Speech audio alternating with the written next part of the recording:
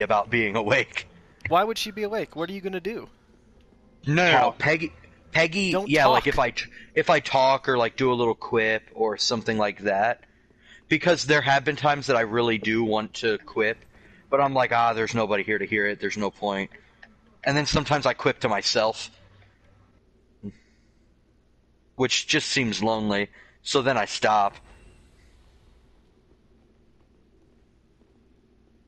I mean, technically, I could stream it now. I mean, sure. well, I was wanting to play some Star Wars. You will be.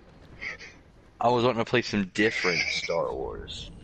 Well, hurry up, send me an